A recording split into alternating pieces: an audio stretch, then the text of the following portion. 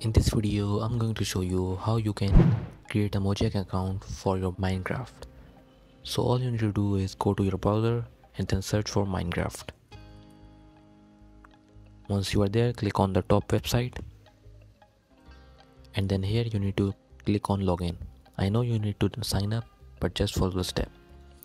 Once you click on login, you need to click on sign up for free if you don't have a Microsoft account if you already have a Microsoft account you need to click on sign in with Microsoft. So since I have already my Microsoft account I will click on it. And there you go. I have been logged in. Once you are logged in you need to click on get Minecraft if you want to install it. If you are on computer click on computer. And then purchase it and there you go your minecraft account and your mojang account is same and has been created.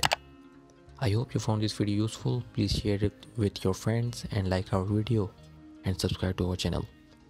Thank you for watching guys